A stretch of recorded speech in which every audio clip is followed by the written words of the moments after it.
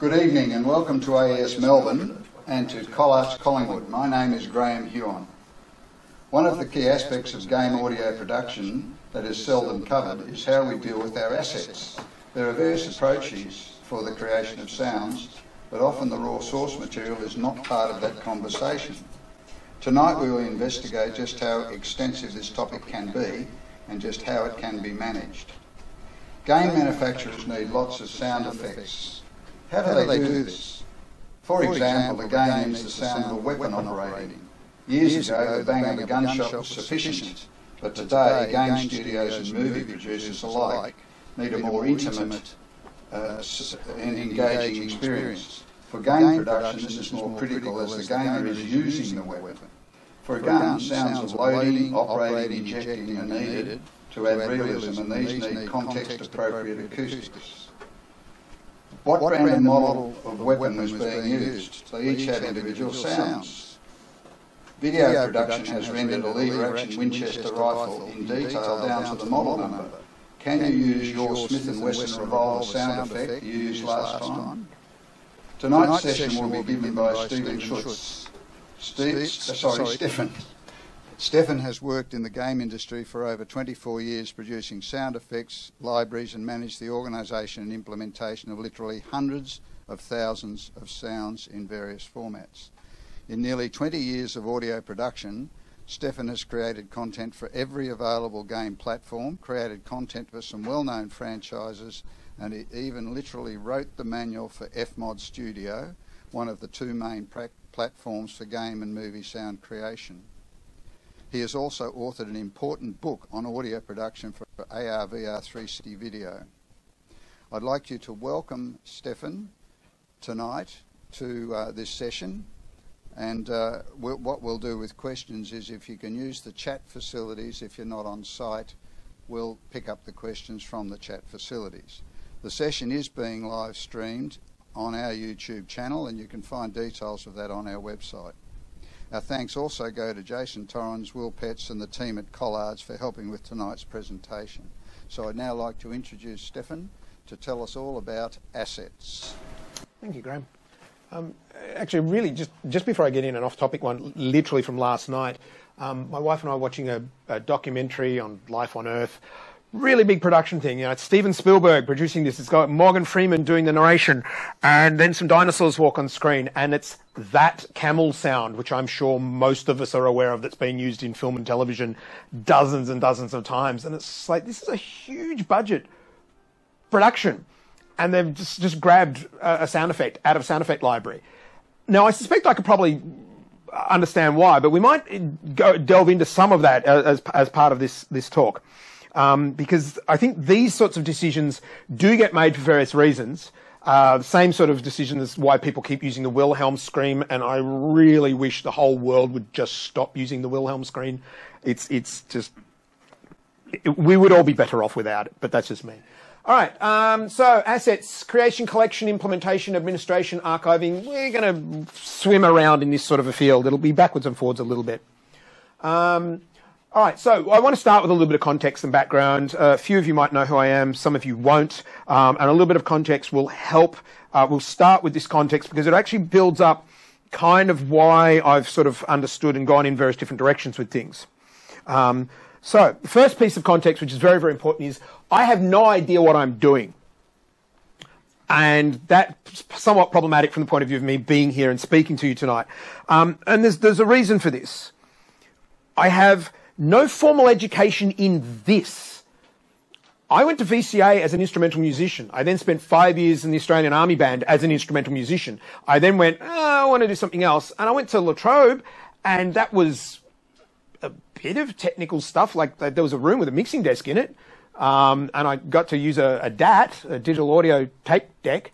Um, but uh, my, my education wasn't about any of the stuff that I ended up doing. Uh, unlike a lot of my colleagues in America who, you know, I talk to them and they're like, oh yeah, yeah, you know, my mentor was this really important Hollywood film composer or this really important Hollywood sound designer. And I'm like, what's a mentor? Like, you know, in Australia, we actually don't have much of a, a tradition of mentoring the same way. So I am self-taught. And so there's been some interesting ways in which I've gone about doing things. And I'm sure there's going to be a lot of you in this room tonight to be like, he does what? Oh, good Lord. And, you know, some of you might want to be sort of offering me, you know, some therapy later on because of the way I've adopted things. So, so this is very much how I've done things, for right or wrong. Um, so my first gig was actually when I f- was just wrapping up the course at La Trobe University, and I had a friend contact me, and he said, "Oh, yeah, a couple of years ago at a party, you said you wanted to work in games." I'm like, I don't even remember that conversation, and I wasn't drunk because I don't really drink that much. It's just a conversation I didn't remember. And he's like, "Can you come in tomorrow?"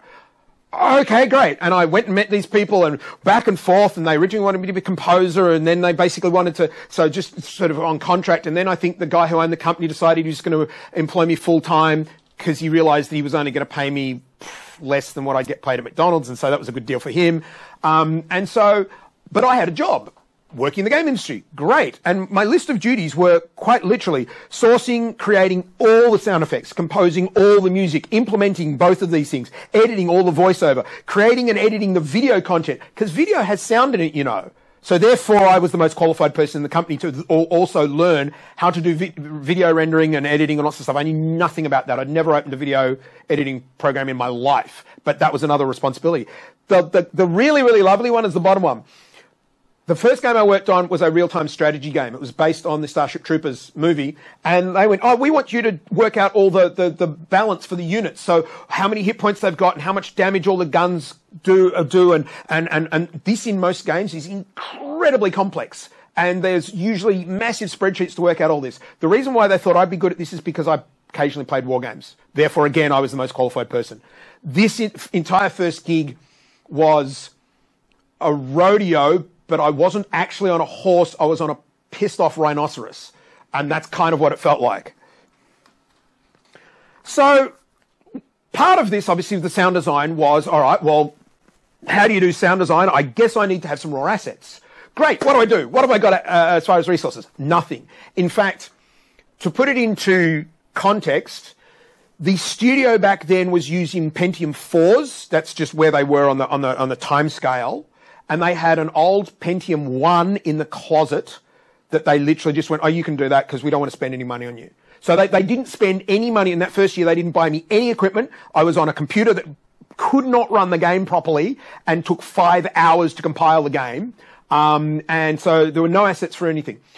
I had one of the programmers there say, oh, I'm, I'm, I'm an ex RMIT student, but I still do stuff there. Like, and I've got my RMIT library card, and RMIT has a sound effects library. Here's my library card. They won't check whether you're me. Go and borrow these. So I literally was whenever I went to RMIT going, hi, I want to borrow these li- uh, libraries. So basically borrowed some libraries and they were all the old sound ideas, series 6000, series 1000 and 2000. And even then, this is the year 2000, even then, these were awful. These are really, really, really very, very basic. And I'm pretty sure that's where that camel sound I was talking about before was in that library somewhere. There's the mechanical door we've all heard. Like these are cliched sounds which I listened to and went, I, have heard half of these on television already. And so I've got to try and work out sort of how to make sounds out of these. But I didn't know how to do any of this. I had a copy of Cool Edit that a friend had gotten me, right? So this is what I'm doing, and and I've never done sound design. I knew that in Cool Edit you could layer things up, and that's cool. But I, so I opened sound design and I put a sound in and went, cool. There's all these buttons. There's buttons for reverb and buttons for flanges and buttons for for chorus and stuff. I don't know what any of those mean. Nobody's ever told me what a chorus is. Nobody's ever told me kind of how reverb works. But there's all these presets. So I just started pressing presets on sounds, going well, it doesn't sound any better than it did before. It just sounds kind of echoey or it sounds kind of muddy or whatever. And so literally I'm, I'm having to teach myself sound design by going, oh, pressing all these preset buttons really isn't the magic trick. So I learned that fairly quickly. I then had to work out how on earth to do sound design. We might get into that later on. I was also, I sort of said, well, I need to get some more assets. And like, oh, okay, look, go and hire some equipment for a couple of days and, and use that. And so I went to, ooh, who was it?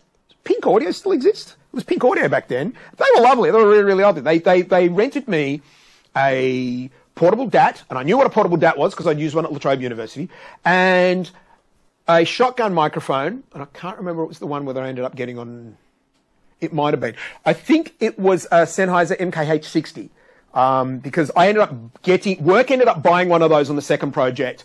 Um, And so I had that, and I and I, I literally I went around and I found a building site and I kicked over piles of bricks and uh, like, like the not the proper ones, but the like the, the rubble stuff that they were throwing away, and recorded that sort of stuff. So I had very basic equipment. I had to make some assets. I had to capture some raw material. I had to then try and turn that raw material into, you know, so, oh, if I combine the, the, the recording I have of the wood and then I combine the w- bricks next to each other and I layer those up together, oh, look, it sounds like the house has fallen over. Yay. And was literally the sort of stuff that you teach first year students. I'm doing professionally. Now, I wasn't getting paid very much. So maybe that figure, no, I don't know that that works out either, but anyway. So yeah, look, it was it was cool edit and guesswork. A lot of what I did. Now, one of the things I will say about cool edit, uh, so that was the year 2000. We're now in 2020, 2024. I use cool edit today. I use cool edit almost every single day, and I use it for one very very good reason. It's stable and it works and it's fast. So um, if I need to literally do, I just need to resample some stuff, I put it in Cool Edit, and like I can go through a whole stack of dialogue and just go cut, cut, copy that bit, put it in there, uh, change the sample rate, save it out, done. And I, I, I use Reaper, I've used Nuendo and, and other tools, but there is something really, really, really valuable about having a simple piece of software that just does what you need it to do. So a 25, 26, 27 year old piece of software is something I use all the time because of that. And it is brilliant. The guesswork, I suspect I'm still doing a lot of that too. So the second project I got, uh, uh, uh like, so we got the Starship Troopers game out and that all worked somehow. And then the next one was basically uh, another film franchise one, and they basically went, "Oh, you're going to really need to do some more recording for this." So they bought me an MKH60, which was really, really nice. Quite a good microphone.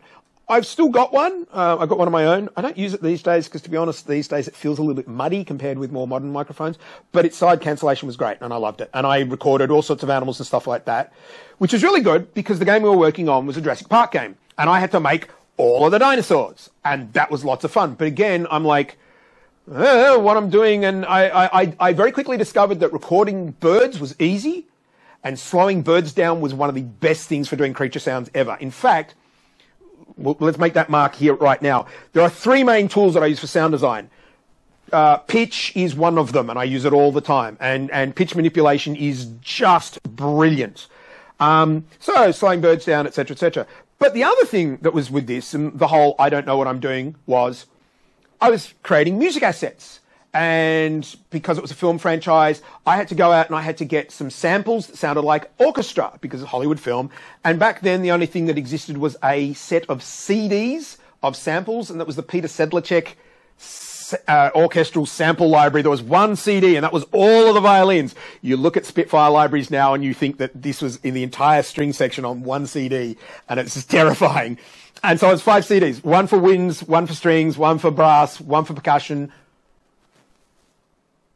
and one for something else.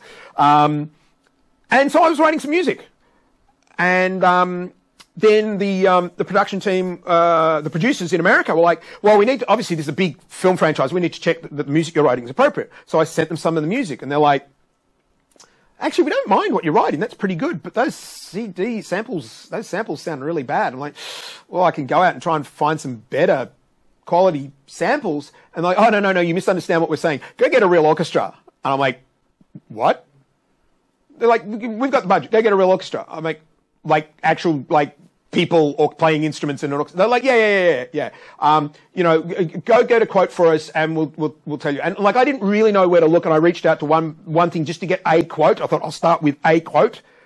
Uh, and, and I didn't have that much experience of who to contact or whatever. So I just went, all right, well, that's something that obviously I know. I'll get a quote for them. Okay. That's a lot of money. Let's see what they think. They're like, yep, that's great. Off you go. I'm like, so you're happy with Melbourne Symphony? They're like, yeah, yeah, yeah, yeah. Go, go, go record, do a couple of recording sessions with Melbourne Symphony. And I'm like, so I got to write all this music to be performed by orchestral musicians. And they're like, yeah. All right, great. What I didn't tell them is I've never done a composing course, a day of composing course in my life. I've never done orchestration. I've never done scoring. And I went out and bought a book on scoring and again had to teach myself how to do all of this over the two months whilst I was writing an hour worth of music for Melbourne Symphony. More assets, more questions, a lot more guesswork. Um, and so this was this was literally a crash course. This was all over the course of a couple of years, um, and sincerest apologies, Jason, and to everybody else here who's involved with the institutions. I learnt more in those two years of necessity than I learnt in three to six years of the various different courses I'd done at university. And I'm not trying to downplay the courses. It was literally just, it was like, hmm, I'm hanging from a rope on the side of a mountain. I'm going to learn how to abseil right now or I'm going to die. And it was a little bit like that. And, and it is one of those things that sometimes I sort of think we should get um, students halfway through a course and then just grab them and just throw them into a random industry. I don't know, a metal smelter. It doesn't matter whether it's related to your course. Throw them, you know, they're, they're now, they're now a, a, country vet for like a cattle farm just so that they have to deal with the real world. Because the real world has challenges in it that uh, we can't manufacture in, in an institution. It's, it's almost impossible. You know what I mean? It's just like you can talk about it, but it's, it just doesn't work talking about what's going to happen and what might happen and the potential of what could happen. You can talk about it in the classroom and the kids will be like, yeah, sure. you know what I mean? Whereas if you throw them out into the real world, they'd be like, oh my lord, you were right. Anyway. And so, asset management was really important. Who'd have thunked it? And, and especially with games, because one of the things about games is I'd have my raw assets. So at that stage, I was probably working 4416, uh, mono and stereo and that's fine. But then, you know, at one point somebody said, "Oh, right, right, for this game um, on on the Xbox, uh, we need it to be ADPCM." I'm like, "What now? What what's ADPCM? It's a compression format." What's a compression? Like again, what's a compression format? Like, well, we're going to be compressing your your your sound assets to make them smaller so they take up less memory. Blah blah blah blah blah. I'm like, oh, okay, what's that now? So again, having to learn the formats that we needed and at that stage, it was all again just like everything's on fire all the time. We've all seen the meme with the dog in the fire. This is all fine. Um, that's been my life and most of my career. And so asset management is really important because I'd have to go, okay, here's all my raw stuff and I need to keep that separate. And now I've actually done them in here. And oh, now what I need to keep in mind is I need to be basically going, all right, well, here's all the, I don't know, the sounds for the T-Rex. And I've done those and I've put them into the game. And then somebody said, well, we don't really like those three. Okay, so now what I need to be doing is doing versioning. So I need to go, okay, so the T-Rex Raw number one, which was just called T-Rex Raw, because at, at the, time I didn't know I'd be having more of those. I need to do an updated version, but I need to keep track of the updated version. So now I've got T-Rex Raw version two. Didn't have a version one, but I guess we understand that. And, and so all of a sudden, it's not just I've got different formats from RAW to stereo ones, which sound nice because we might need the nice stereo ones for the video that we're doing for uh, pre-rendered stuff and for marketing. But the ones that are going in the game are mono, so I'll need to actually, oh, I'm going to need to start actually labeling them T-Rex score underscore stereo, T-Rex score underscore mono. Wait, go back. T-Rex score T-Rex raw version 2 underscore stereo, T-Rex raw version 2 underscore. And so you're getting into all of this sort of, you know, how you're going to be doing things. All right. So that's a lot of just frenetic. Welcome to the inside of my mind. It's just trust me when I try to go to sleep. It's a big challenge. There are a whole bunch of tools, and one of the things that's really, really important is that we do not underestimate them. And I actually decided it might be a little bit fun to have a little bit of uh, show and tell here. So I bought some stuff in. This is one of my boxes. It's got a lot of things in it. And oh, actually, no, I do have it. And there's a reason why uh, in fact, Nick, this might have been, uh, uh, I think you introduced me to this uh, many, many years ago. So I had some recording devices, and I'll talk about them a little bit uh, uh, at the time. Um, and then Nick introduced me to, you've got a Nagra, don't you? Yeah. So you, Nick introduced me to his Nagra, and I'm like, wow, that's really nice. It's got multi-channel. It's got, it's got really nice preamps. It's really, really cool. Um, and, and all of a sudden, weirdly, I'm talking to people. I'm like, yeah, look, I've seen the Nagra. They're a bit expensive. I'm thinking of getting a sound devices, one of the sound devices units. And all of a sudden, I had people going, yeah, I've got one of those sorry, what do you mean you got one of those? Yeah, I got one of those. I occasionally record bands. I'm like, it's a four thousand dollar recorder. What do you mean you've got one of those and you occasionally? And I bump into somebody else. Yeah, yeah, yeah. Just, just for, just for as a hobby. Sometimes I just do some recording, you know, of birds and stuff like that. So I've got one of those as well. Like, so I'm doing this professionally, and I'm trying to make up my mind as to what I'm going to buy. And I'm bumping into people who own multiple thousands of dollars digital recording devices, just kind of cause. And it was really weird for me seeing people spending so much money because I've always been super careful about where I spend my money because I have to be. I run my own business. It's essentially due diligence of what, where I spend my money on, on stuff. So I started, I'll actually start with the, the, the very original one. I lived in Japan for three years, and for 12 months of that, I lived in Tokyo. And one day I walked into, there was an arcade of lots of different shops, and there, there was literally an audio shop. And I'd like, I'd always walk past and sort of drool in the window at all these very expensive microphones and stuff. And one day I walked past and there was this. And I was like, what the hell is that? And I walked inside and in very bad Japanese basically said, what the hell is that? And they're like, oh yeah, that's, um, that's from, um, uh, Edirol, which is basically part of Roland. It's a digital recorder. I'm like, oh my lord, it's, it's a small recording device. I like, I normally cram around a portable DAT that's this big and the size of a, oh, you don't even know what phone books are anymore, you people. Um, and, and I looked at this and I was like, this was quite amazing. And, and what was surprising about this is it's actually a really cool design in that, like, you've got this little thing that pops down like that, and that's where your SD card goes. And then there's another little tab that you pop, and when you pop that, the whole thing opens up to put the batteries in. Really, really cool design. Um, and surprisingly, the, the, the, microphones on the side are surprisingly wind resistant. Like I'd have this outside on days when there was more than no, no breeze at all, and it was pretty good. So I got one of these and I, I potted around, and, and that was really nice but it wasn't earth shaking. I mean, it wasn't one level in that it was a, a handheld recorder I could keep on me. This was groundbreaking. And there are going to be some people who may even laugh at it. This was groundbreaking. It was utterly groundbreaking. And one of the main reasons why this was utterly groundbreaking is because it was exactly the same thing. A digital recorder, you could put an SD card in there, you could put batteries in there, it had built-in microphones, but it had XLR slots in the bottom. I could plug stuff into it. And you can see how I evolved the way I was going to use this thing. This is then its newer brother, which I'll get to in a second. And so it had this little plate with the, with the Velcro on it, and it had a, a, like a normal thread screw on the back of it. I'm like, whoa, I got a boom pole, and I can hook it into that with my microphone, and then I got a better microphone, and I've updated that, and oh, I can put it on a tripod. And so this, this is one of the most significant things in my career. We'll get to the other next significant thing in my career in a little bit, but this, I bought this when I lived in Japan, and I recorded so much stuff that ended up being the basis for Sound Librarian and all the sounds that, that basically started off our whole catalogue. And then over the years, I updated to um, uh, the, it, this is, so that's the H4, and that's the H4N, which is the new version. And that's a second one which I got because I was so happy with it. Also because that, see that one there? That's got a crack on the screen. That's got a crack on the screen.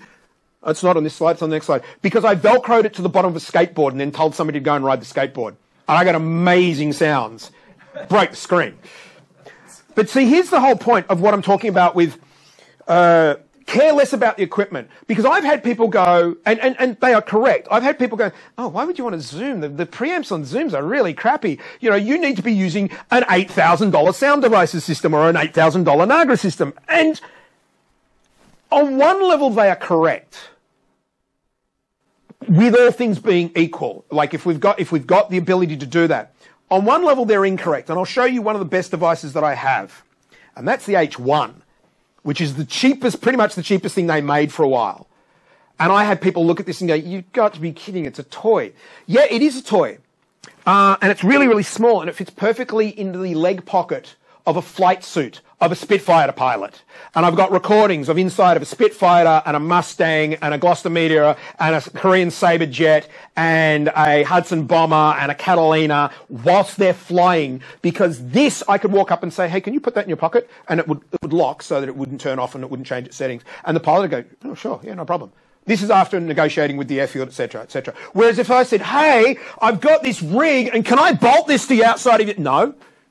And that's the thing. This is what I mean about getting the job done. This is a $150 device was infinitely better than a $10,000 Nagra or, or, sound devices thing because it allowed me to get recordings inside of a Spitfire that otherwise the option was this or nothing. So anytime anybody gets uh, to be a gear snob or elitist about equipment, I will shut them down in a heartbeat because I have gotten some really good stuff out of some fairly basic equipment. Fairly basic. And you can see there, I've gone through playing around with things. Now this, um, there's an updated version of this setup here with that there. And that for uh, 18 months while I was recording those aeroplanes was priceless because I'd put good quality batteries into that and I'd get about six hours of recording in stereo on good quality batteries and I'd have that set up like that. And then when I got permission to go to the airfield, before the show started, I'm like, can I put this at the end of the runway? Like, well, you're not going to be with it. I'm like, no. No, because you can't have any body out there when the planes are flying, but you can have a little tripod sit out there for six hours whilst there are Spitfires and Sabre jets flying 10 feet above the thing. And so I'm standing where it's safe for me to, with one rig, and they're, they're going. And so I get one perspective there. I mean, this is talking, you know, different mic perspectives, except the mic, the, the mic I've got in my hand is here, and this is literally half a kilometre away down the end of the runway. And in fact, when, when I went to a, a, a, bigger, one of their bigger air shows, I literally had one at each end of the runway, um, because this is a self-contained unit. I mean, if, if you know that you, if you test it and you know, I can get four or five hours out of the battery in this, you switch it on, put it down, leave it. I mean, nobody's going to be out at the end of a runway. If somebody actually ran out there to steal that, there's going to be people who are going to leap on them because the end of a runway at an airport is a, sec- a security zone. I got permission from them to take it down there. They, they escorted me down there in their little buggy. I put it out there, and at the end of the day, I say, Can I collect it? Great. This, I have done so much with this. I put it next to race courses. I've done all sorts of things. So again, uh, not big expensive equipment that I'm worried about being stolen or if it rains. If this thing gets wet, okay, that's unfortunate, but it's three or four hundred dollars, not three or four thousand dollars. So again, this strapped to a bottom of a skateboard. If it gets a break, broken screen, okay. So there are times when the less expensive stuff is, is really, really valuable. Right? So, strap, uh, wrong way. Strap to a skateboard. Um, I'll get to these two in a second. Um, this one is one I carry around with my bag uh, all the time now. Sony S10, I think. They don't make these anymore. I, I have no idea. Sony have got this habit of making really good products and then they stop making them because reasons. Um, now, the second thing that was the most significant thing in my career as far as recording audio is not so much this device, but it's what it represents. This also has two, only two, but this is 32 bit. And if you're recording and you're not using 32 bit, start using 32 bit this the 32 bit is uh, I hate this because it's so cliche, but it really is uh, like evolutionary and game changing from the point of view of the, are recordings I have on some of the other ones where literally I, I was whenever I was using these other ones and my, my even my, my, sound devices one quite often I'd be writing the levels etc. Because you know oh, you know oh the, the the jet's over there cool I can barely hear it and then it takes that jet about two and a half seconds to be back flying overhead. And if you don't get your levels down, I mean, I did, I did do splits for different levels and stuff, but 32 bit is just amazing. This is fantastic. Look how small that is. It's like two, two inputs. Uh, it's, it's, uh, uh, it's big brother. Oh, actually, it's big, or big sibling uh, is this one. That's the F6. And one thing I will say is I agree wholeheartedly. When Zoom started, their preamps were not very good. Zoom's preamps now are very good. Considering that this is about $1,000. So if you talk, I've got a sound devices, 788, which is $6,500. Right now, I'd buy six of these rather than one of those. Because I'm not recording a symphony orchestra that, that the quality needs to be this good. I'm recording raw sounds that I'm then going to be processing and layering up 20 times anyway. Um, I'm recording howitzers and, and tanks.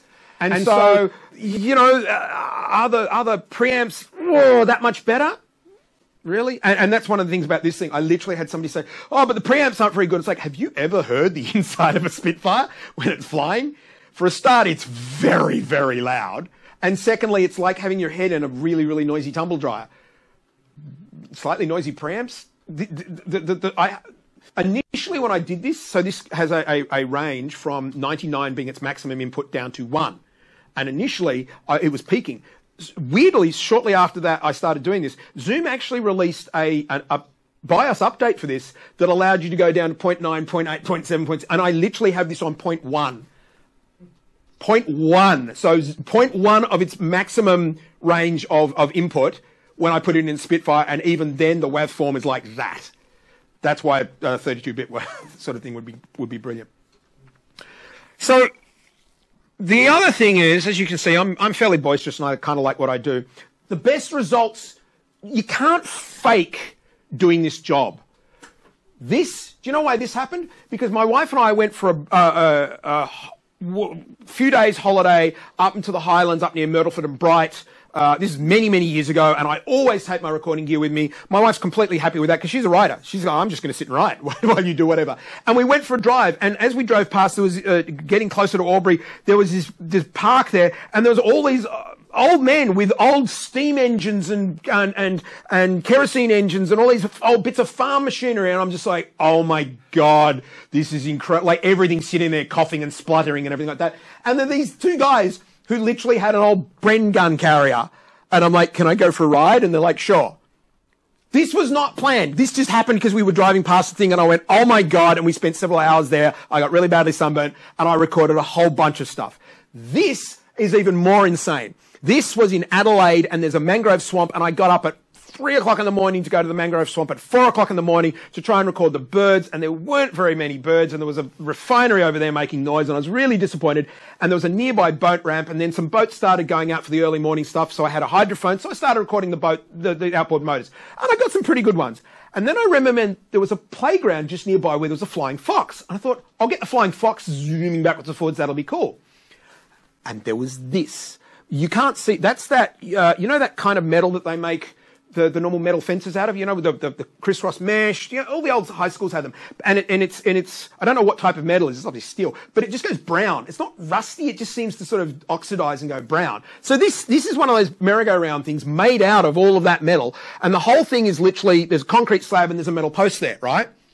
And there was a lady with her like three-year-old kid on this thing, having fun and everything like that. And I'm just standing there going, Oh my God. Probably looking really creepy because I've got like gear strapped to me and a microphone. And after a little bit of time, she's like, we'll go do something else. I'm like, yes, go do something else. Go away, go away.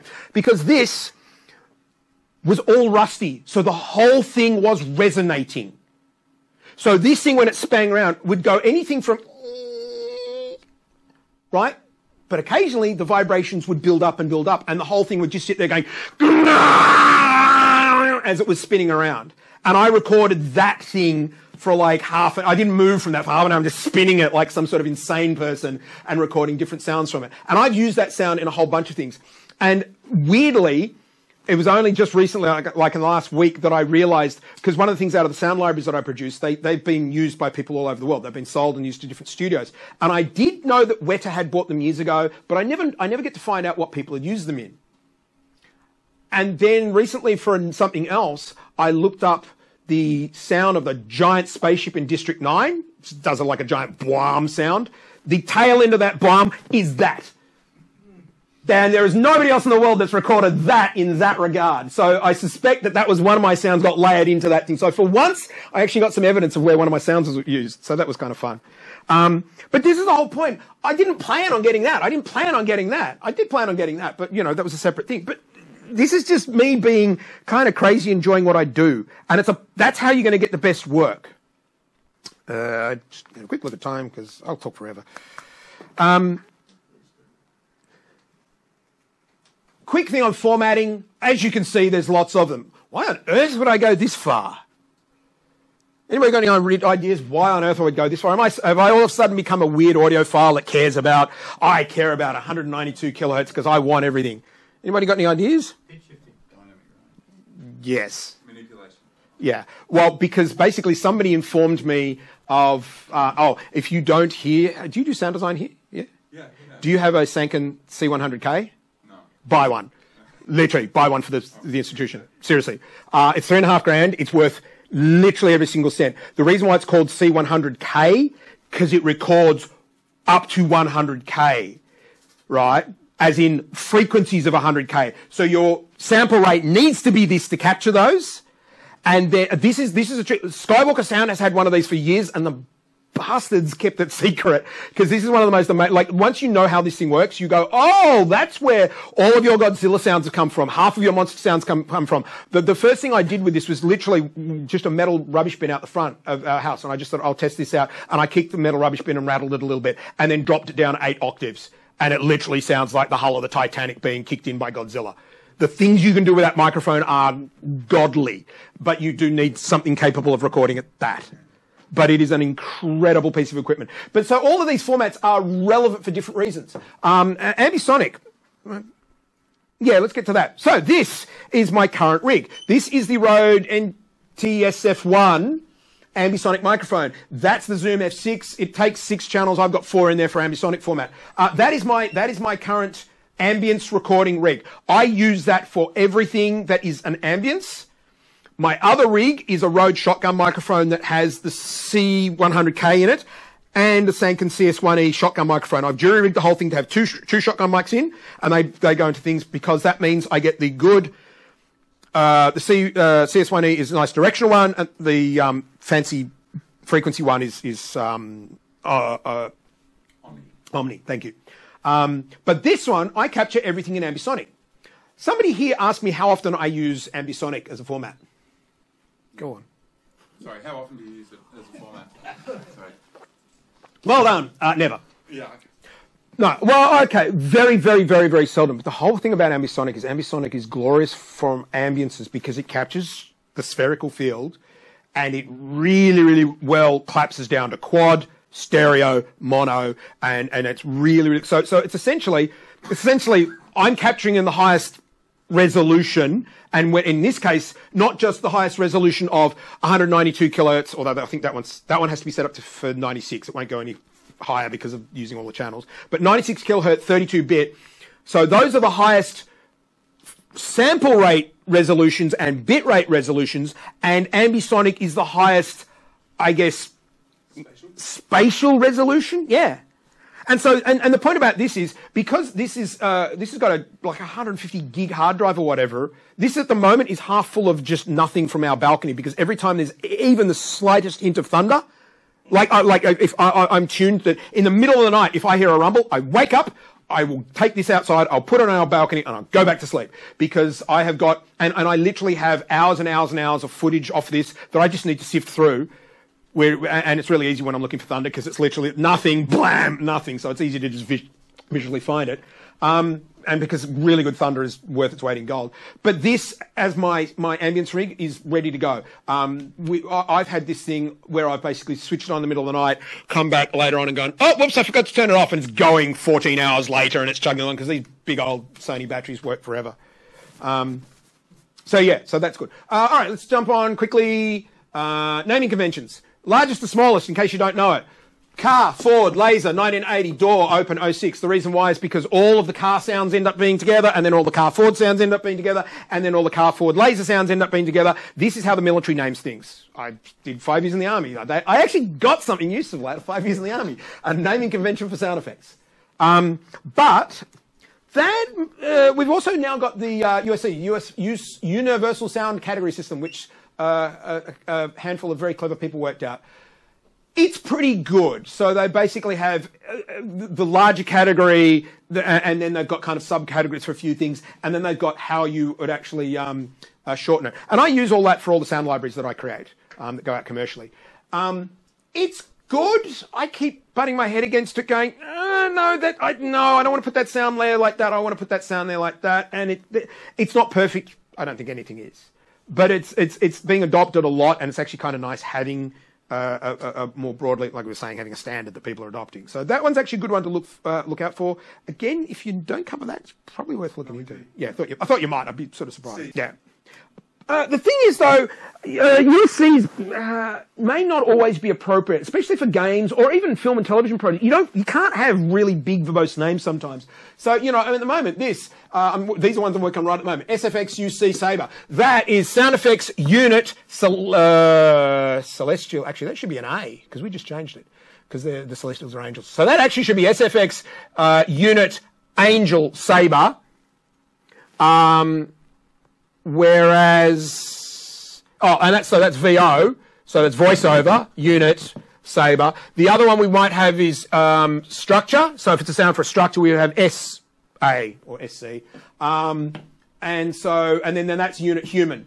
And so basically in this particular case, because we're trying to get things implemented into Unreal or Unity or whatever, you, you, you quite often have code systems that you need to work with for a specific project. So there's going to be a difference between uh, the naming conventions you use for your archiving and your collections versus what you might be using for a project. And so again, that's where sometimes it's really, really worth going back to, oh, here's my aeroplane blimp thing, and quite often I'll rename it and put a little bracket thing saying used in Sabre Tank or whatever to remind me at a glance that, oh, I use that sound effect for that thing. And the other thing I actually also do is, um, let's uh, let's just say that was the raw sound effect for the moment, uh, and I, that's what I found in my library. Cool, SFX underscore UC underscore Sabre, and then I put it into Reaper or whatever, and all I do with it is pitch shift it. I'll then save it out as pitched, and then I put in RX7, and then I'll I'll, I'll save it out as pitched, RX.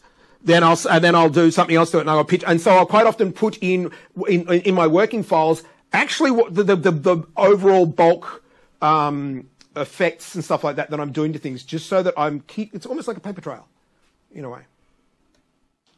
Um, so there's uh, so the naming also gets relevant when you're doing things with like the search tools. So SoundMiner, BaseHead, then there's Nuendo's internal and Reaper's internal. Look, I've heard all sorts of great things about SoundMiner, and I know the guy who does BaseHead, and he made lots of money, so it must be good.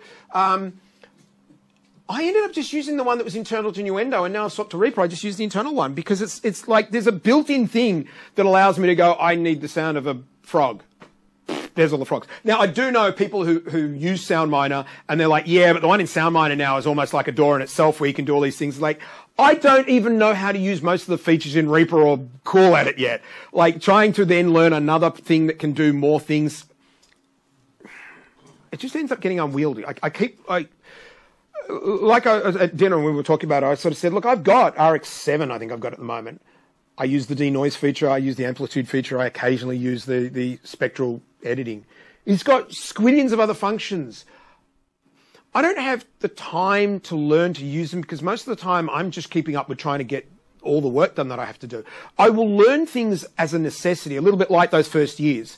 I need to know how to do video editing, all right, and I don't know how to use all the video editing stuff. I need to know, I need to know enough to get the job that they asked me to do done. That's probably, it's fairly lengthy, but that'd probably be a reasonable thing to put on my headstone. He learnt enough to do what he needed to get done. Um, and again, when it comes to your personal collection, that's that's entirely up to you work with, with, with whatever naming convention you want. But keep in mind that if you're going to start integrating into larger systems, using the universal one is good for that reason. It, it then becomes, uh, it blends. Um, I, I, had a habit, I don't know even why I did this. Um, I can really, I can spot all of my sound effects because I've got the, the, so Pro Sound Effects make, uh, are the people who distribute my library. Um, because of that, they've given me access to their entire collection, which is amazing. But I can spot mile a mile away because for some reason, when I started doing my sound effects library and I was doing my naming convention, I, I had the thing with the Ford laser thing that I did before of biggest to smallest. But for some reason, I named all of my sound files in all caps. I don't, I don't know why. Maybe it's because I yell a lot. Um, but like, so, so uh, I'm doing any search like, yep, that's my sound because the whole sound, the whole file name's in all caps. I really don't know why I did that. Curating and archiving. Um, this is actually really, really, really important. Um, hard drives fail. They will always fail. Uh, anybody who's got any CD-ROMs that they burn? Have you checked any of them recently? You'll find that a whole bunch of them don't work anymore. One of the things that nobody talked about at the time is literally the, the, the gold silver stuff in it literally just fades. And I'm not t- talking in the sun. I've got ones that are being kept in sealed containers down and you pull them out and it's just like the, there is no data on that anymore. It's literally just faded. It might be the difference between the different things, but anybody who's got stuff on CD-ROM that they care about, check it out now and back it up onto hard drives. And I, I'm actually going to say hard drives, like just the little portable hard drives, you can get them from Officeworks for a couple hundred bucks. I've got squillions of those. And the reason why I've got those is because a few years ago we thought we'd do things right, and we got an NAS RAID array. And we spent a lot of money on, well, you know, we bought two of them eventually. They were three and a half grand each, and then one of them failed.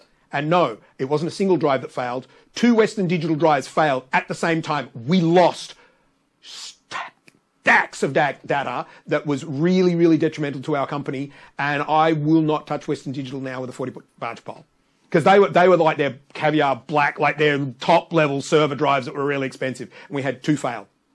Nothing you do about it. So I do not trust servers anymore. Uh, I know people who say, "Oh, I put it up on the cloud." It's like I've got hundreds of thousands of sounds.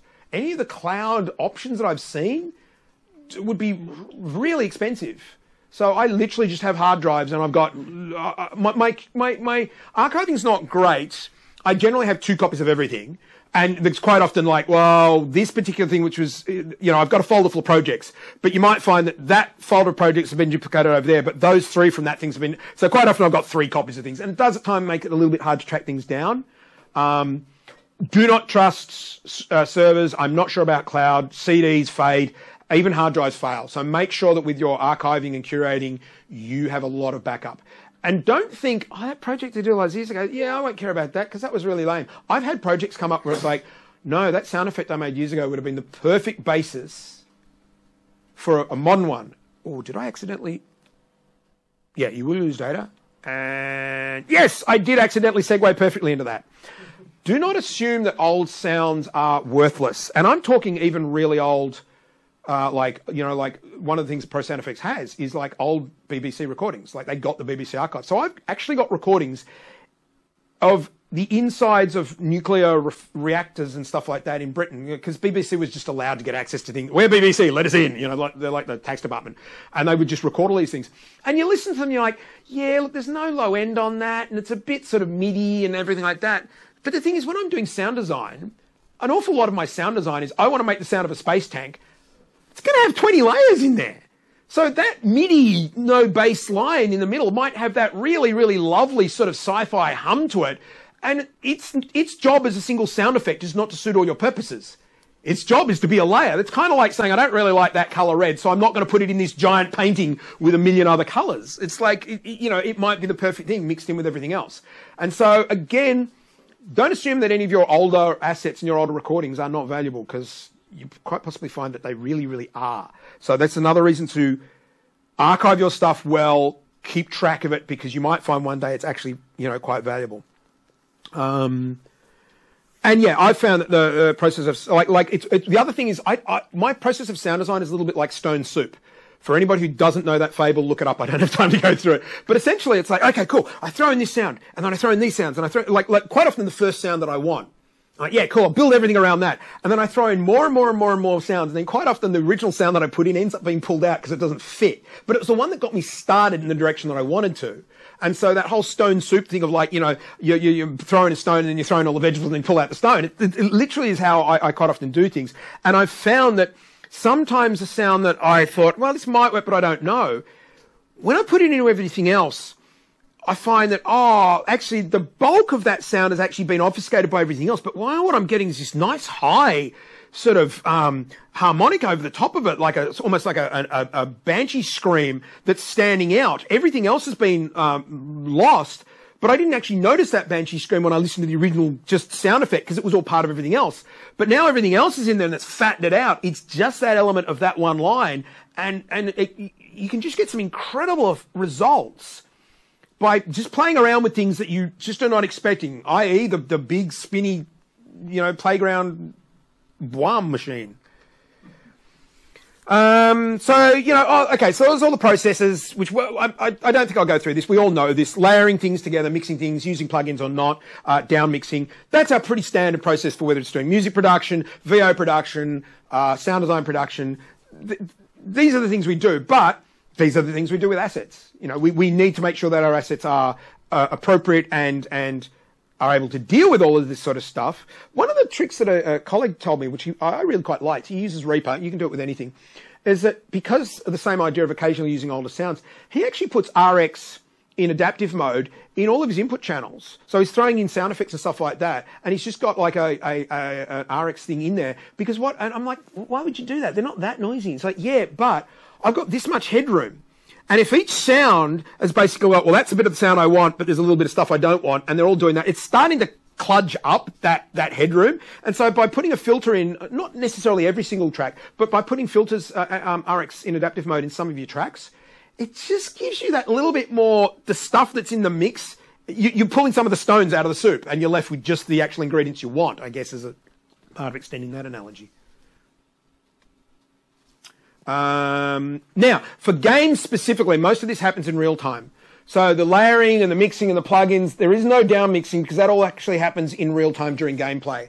And quite often, my layering and mixing is actually happening in real time. So uh, instead of making an explosion out of here's some glass smashing and here's a gun going bang and here's some uh, you know metal being kicked and here's some stones falling over, etc., etc., I will now render those. Uh, and there's my explosion sound.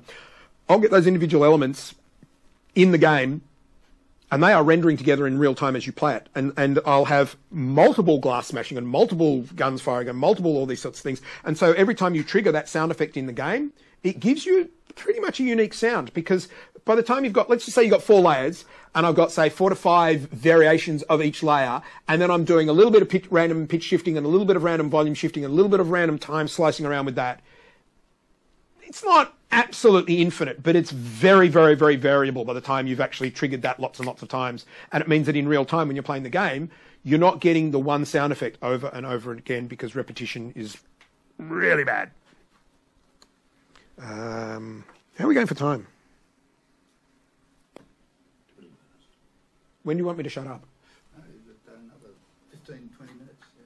Great. I can give I can give talking for ages. So, so this is the thing with implementation. Naming can differ, mixing is real time, multiple takes on demand, and it's audience controlled. And, and th- so this is when we're getting into the nitty gritty of, of game stuff. The problem with game stuff is, um, oh, this is going to challenge the camera tracking. If I walk over to the door, can you track me all the way to the door? Yep. Ooh, high tech. So, okay, so if this was a film, and we had, uh, I'm, I'm talking from a musical point of view, but if this was a film, right, and um, uh, let's just say you cliched um, um, Hitchcock film, right, and we know that there's a bad person on the outside of the door. As I move close towards the door, the, the, the music would peak. The music, you'd get that sort of like, you know, dump, dump, dump, dump, dump, dump, dump. And as I open the door, you'd get that, because there's a bad person on the other side of the door.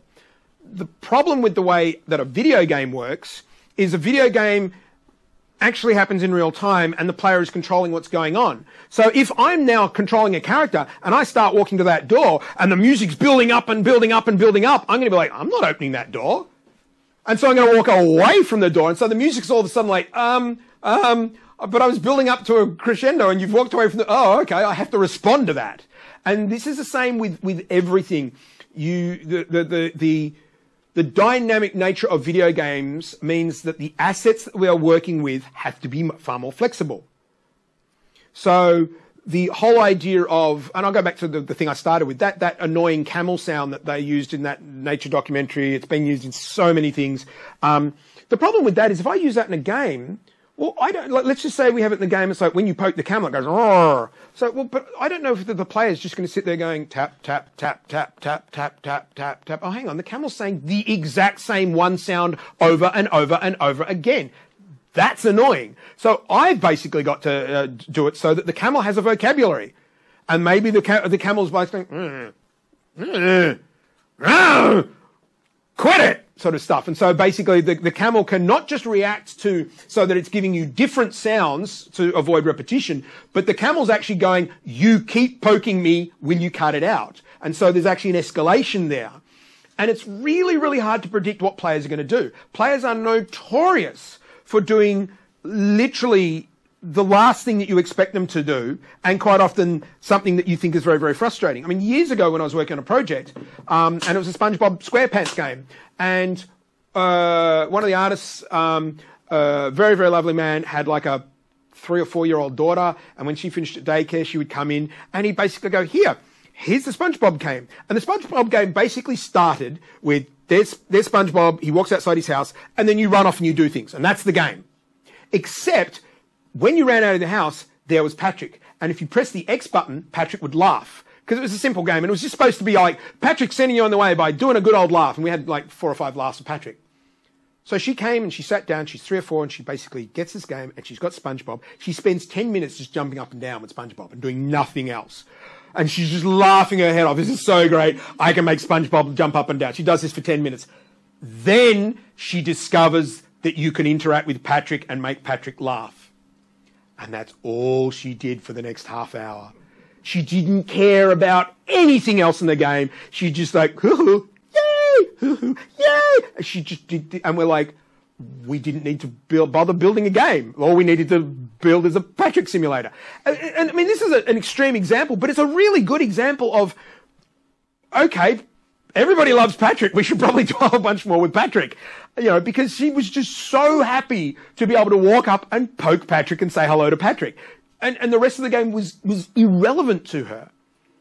So there's this, there's this very big difference between the, the dynamic interactive nature of games versus uh, like like um, uh, film and television. Now, having said that, there's an interesting phenomenon that I've been tracking myself with, with film and television. Um, and I think that, that it, it, might be slightly related to the, uh, you know, remembering the sorts of things you like. So you watch Star Wars and you liked Star Wars when you were a kid or, or whatever. It's slightly related to that sort of, I think it gets referred to as remember berries and stuff like that. Um, but for me, one of the things that's interesting with, um, film and television, which is completely linear and it's exactly the same every time you watch it, do not underestimate the impact that you're having on your audience. And I mean that more sincerely than anything else I've said tonight. And I'm going to give you a, an example of why this matters. And I can't even analyze. In fact, you know, I, I could probably find a PhD student who could, uh, uh sorry, a, a, a um, psychology student who could write a PhD on this. There's obviously things in my makeup as a person, my history, my background, my attitude, my experiences that have led me to being in this position where a certain event, a narrative event, is significant to me. I, as I said, I won't go into the why, but one of the things that I realized recently, uh, looking back, I'm like, yeah, this was something that I always thought was really, really cool. I always liked the scene, and we've all seen movies. We all know what we talk, what I'm talking about here when I get to it the traditional sorts of thing we get in a narrative, film, television game, radio plays, theatre, they all sort of do this thing where our heroes are meeting adversity and generally what happens in like the third act, the heroes are usually doing pretty badly. You know, like something really bad is happening to the heroes. They're getting the crap kicked out of them. The, the, the bad guys are winning, etc., etc., etc. And then we get the change. Uh, and one of the interesting things is that almost always that change is heralded in through audio. Uh, I'll give you the, the, the, lesser of the two examples first. The, the lesser example is, is from a film that w- when I was in the cinema, I'm like, oh my God, this is so epic. I love this. This is fantastic. And it was a big, huge Hollywood film. And so they can still do that. But it's literally, um, and a lot of, some of you may not have seen this, but in the, the culmination of the Marvel universe, there was, um, uh, Marvel Avengers Endgame. And this had literally this thing. The bad guy's been, has beaten everybody. Everything's gone terrible. We've got two or three of our heroes. You know, we've got Iron Man and Captain America and, and Thor and they're all falling down. And Captain Marvel basically stands up and and literally the bad guy is there, and he's got a massive army behind him. And Captain uh, Captain America's just had the crap kicked out of him. His shield's all broken, he's scarred, etc., etc. He's got like wounds in him, etc. And he just sort of he, he sort of stands up and he just sort of does this tired sigh, and then he tightens the strap on his shield as though. Oh, well, another day at work. You know, one of his, his, his ongoing things is I could do this all day, right? And so He's, he's like, he, he knows he, he, he can't face off this thing. And you get that. And at that point, there's almost complete silence in the theatre. So we think, think giant IMAX thing where we've been having giant fights with superheroes for the last 20 minutes and now everything's down and it's really quiet. And then we just get this scratchy radio thing. And it's like a, a radio that's kind of interrupted and it's not working. And it's like, Cap! And, and he's like, he looks around, he's, huh? And then you basically hear the voice of a character on your left. And that was the, the very line that Captain America gave in a, an earlier film to somebody else when he was just running around, running laps around them on a athletics track, right? And this person said, on your left. And Captain America's kind of like, wait, what? And then a portal opens behind him. And the heroes start to come through and the music comes up and it's triumphant and then more heroes and more heroes. And then after a while, you, you, you know, this, the camera pulls back and there's this, this, this massive army of good guys. And the bad guys kind of like, oh, okay. Those points, for me, the cavalry arriving points, right? They are significant. And I've watched, I was interesting on that one. I actually watched some reactions to that. There's a, lot of reaction videos that are really bad, but when you watch some of the real reaction, the, the legit reaction videos to that, there are people losing their nanas over this stuff because they're people who've been fans of this universe for a long time, right? So obviously it matters to them. The, the personal example for me, again, I wouldn't have even have described myself this way, but I, I, realized that I had been a fairly big Star Trek fan for years. And a couple of years ago, they started an animated, a new animated Star Trek show.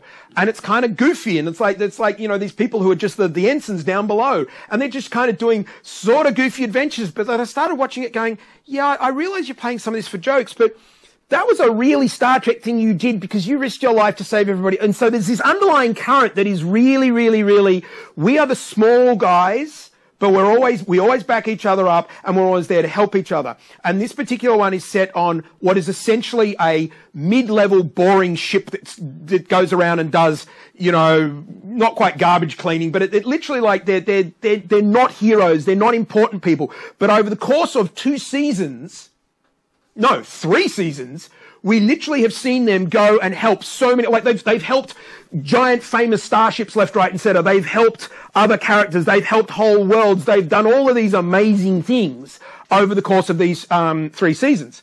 And then the, the end of season three, basically, there's a, a, rogue AI that gets out of control and is attacking everybody, and they basically piss it off so that the rogue AI chases them, it's in a spaceship, rather than hurting innocent people. So they run away, etc and everything's going really, really terrible. Their ship's falling apart. They think they've gotten away. There's actually three AIs. They just managed to destroy two of them, but the last one's there, and they're, they're, they're, they're screwed. Their, their, their ship is there. It's broken, and the, the rogue AI is about to blow them up when one of the characters that was on the ship, who'd run away, turns up in his tiny, tiny, tiny little ship. And she's like, no, no, no, don't abandon ship. I'll get you covered. And everybody's like, what? You, you, you can't do anything. Like, you, you, you can't do anything on your own. And she's like, no, no, no, I called help. And, and then basically it's like, oh, there's another ship turning up. And it's the sister ship to the, so it's another crappy ship. So we've got our, our crappy ship called the Cerritos and another ship's coming that's the exact same crappy ship. And it's like, no, no, no, no, no, you don't get it. We're a crappy ship. We can't do anything. You know, a, a, a, a California class ship is no good on its own. And she's like, yeah, no, that's why I called all of them. I'm like, all of what? And then again, the music rises up and every single California class ship in the galaxy rocks up. All the characters that we've previously seen, all the ones that the Cerritos has helped over three years of story turn up. And I'm sitting there in tears because for me and the things that are important to me, this thing presses all the right buttons as far as the cavalry arriving. Somebody's got your back. Everything's going to be right now. The music is amazing during that thing, right? And it's, and it's really, really cool. But this is the point right? I've watched that scene multiple times since, right? It came out a couple of years ago because at times, you know, I'm just having a shit day or whatever. And I'll, and, and that little scene is on YouTube. I can just look that scene up. In fact, it's probably on my phone because I run to that scene. At the end of when I'm doing a run, I literally trigger that scene at the end to get, get me the last sort of half a kilometre. So the people who built that show, they built a good show. They built a show that they thought people would like. Yeah, and the, the, the composer made some music that he thought, you know, people that would go well with it. But that one little scene that's three minutes long is really significant to me.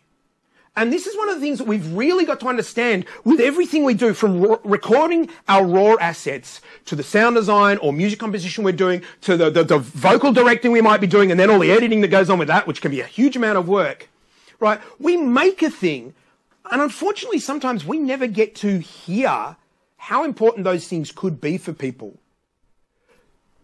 So I think it's really, really important that everything we do, we've got to be careful of not just going, oh yeah, this is just, it doesn't matter, I'll just, I'll just get some sounds in there. I.e. the camel sound that was used in the documentary I watched the other day. This is lazy. And I get that they're busy and I get that we're working hard and they might not have been given all the time, but oh, come on. That's a sound out of a, a Series 6000 library. You've done nothing with it. You've just gone, hurt, drop into something that probably had a multi-million dollar budget.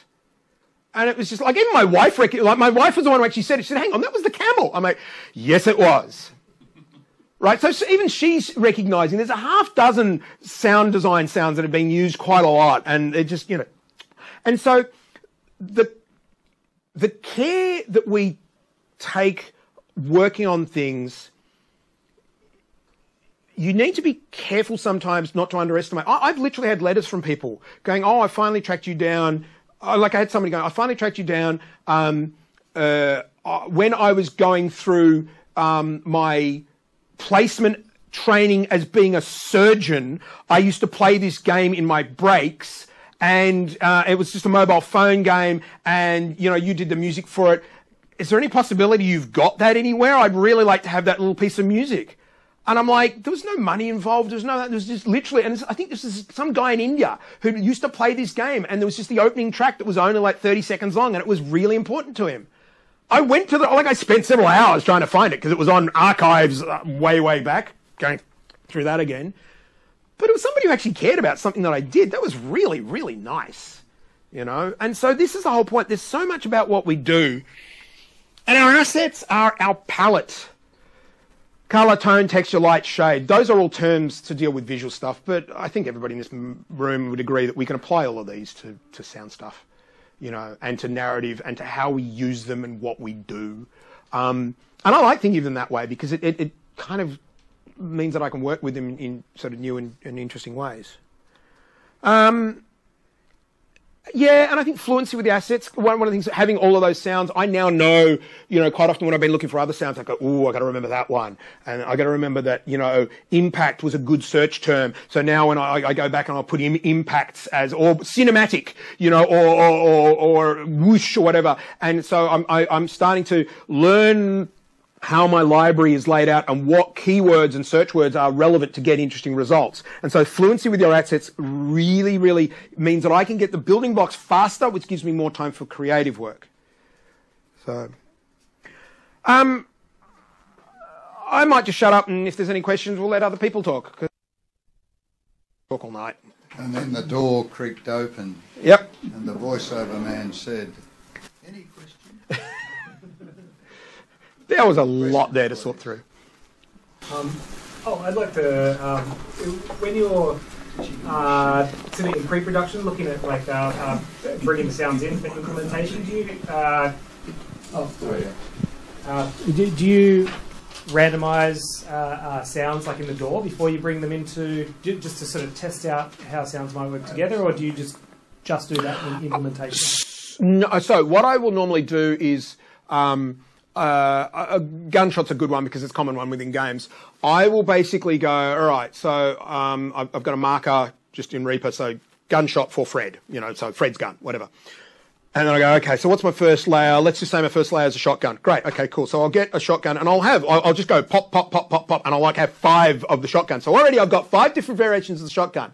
And then anything else that I look for, any other layers I'm putting in, I'm going to want to have five variations of them. And so already I'm building five different variations and sometimes I might swap them around and I'm like, oh, that layer's really cool.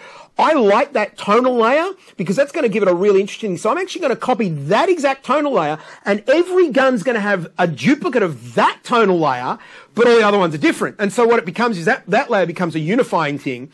So uh, depending on how it's going to be implemented, sometimes I might just go, cool, I now have five guns going bang, and I might just render those out and pop them into the game, and it literally just, it will randomly select from five guns going bang. Or I might go, well, but this is a game that's all about shooting. So shooting's really important. So there's going to be a lot of shooting. So I actually need more um, variation. So what I might do is go, okay, let's just say I, I had nine layers to each sound.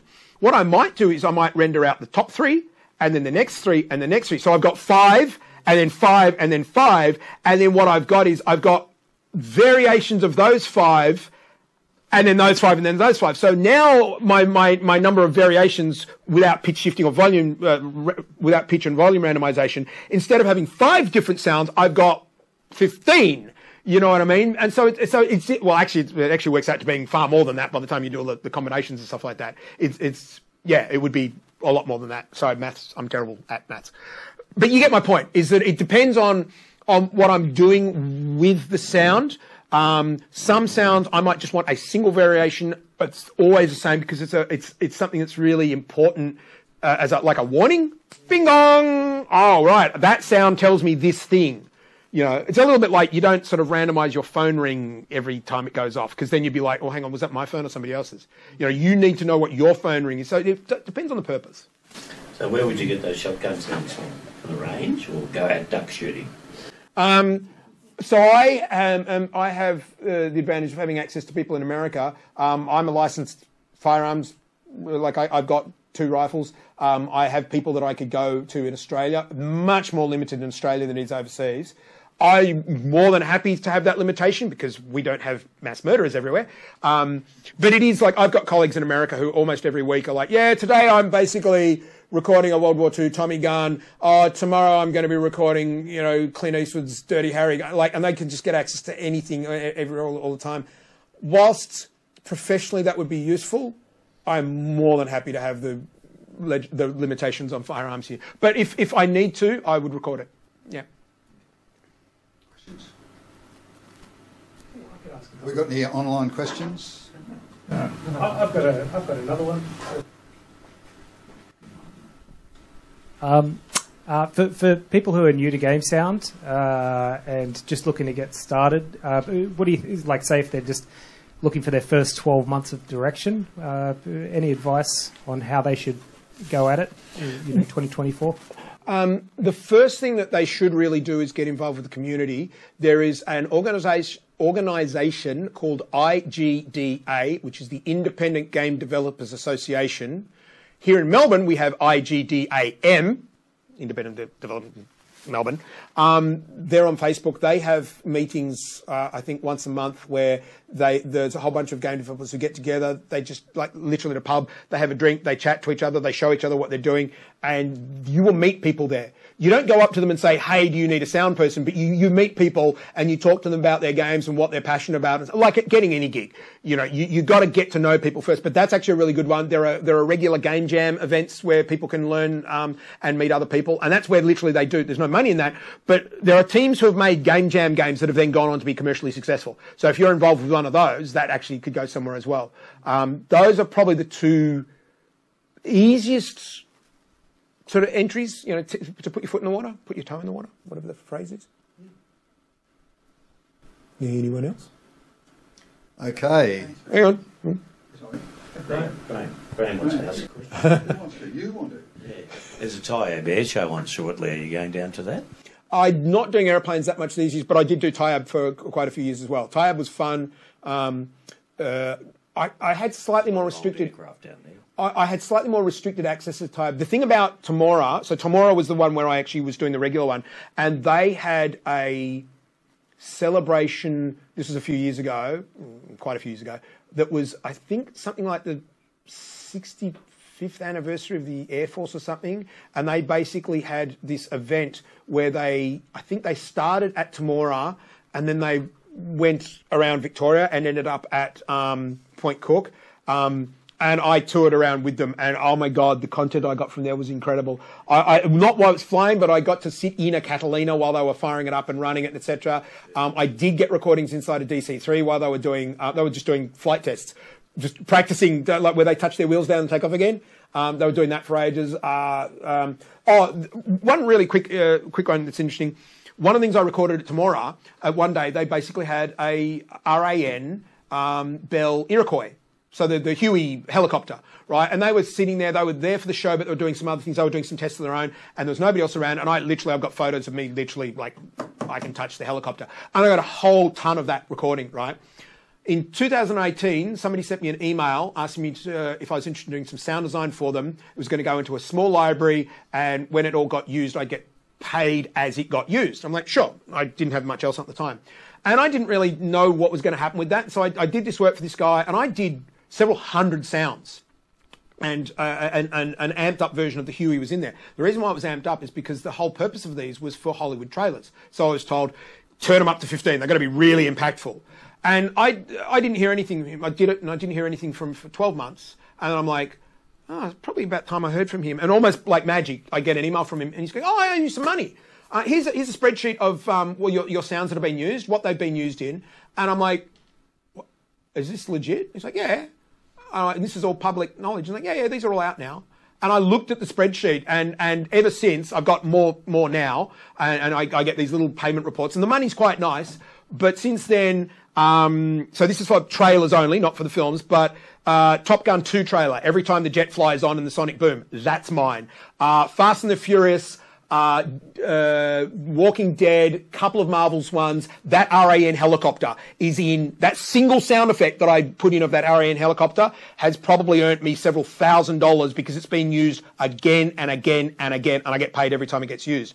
Um, uh, the, the the Batman film that was the most recent one, when the Batmobile jumps out of the flame, that's my sound. So I did all these sounds because it was like, oh, this guy wants me to do some sounds, and now I get reports every couple of like, oh, cool, the fire engine in the Minions trailer is my fire engine and stuff like that. And it's funny because I look at these reports and I can almost completely ignore the money. I mean, the money's nice, but for me, uh, especially with somebody who suffers from imposter syndrome, this is incredible. It's like, oh my God, my sounds were used in the trailer for Dune. Oh my God, my sounds were used in the trailer for freaking um, Star Wars. My, yeah, it blows me away. But that one helicopter sound, uh, I mean, I, I recorded a whole bunch of ones, but the one that I submitted, I think more than anything else, anytime there's a helicopter, it's a Royal Australian Navy Iroquois, you know, um, helicopter that's been used in half of the bloody Hollywood trailers. So that was pretty amazing. And a good use of an asset, of a single asset. More questions? Yes, we have a question. Um, in Australia, is there what, what opportunities? Obviously, you, you mentioned you know how people could start. Is there game enough game companies in Australia for work here, or Okay, so the the main piece of advice that I give to everybody who asks that question is get out of Australia.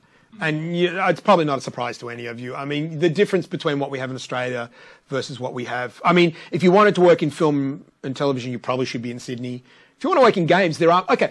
Look, it's not entirely true. We we actually have some incredible indies in Australia, right? So uh, you may not have heard of these, but Hollow Knight was a, a game that is one of the hugest games. Like it is, like there's the number two is due out soon, and it's on most. It's one of the biggest wish listed games ever. That's made by a team of people in um, uh, Adelaide.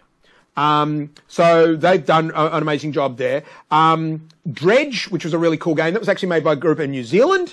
Um, uh, um, Cult of the Lamb was made by another Australian group, another uh, Australian indie group. I've just spent the last two years doing two games simultaneously for a group in Melbourne. I'm now working for a group in LA on, on uh, another game. Um, so look, there, there, there is, but there's this many jobs and this many people want to do it. Now, the other thing is, is you could say, well, yeah, but in America there's this many jobs and this many people want to do it. It's like, yes, that is true.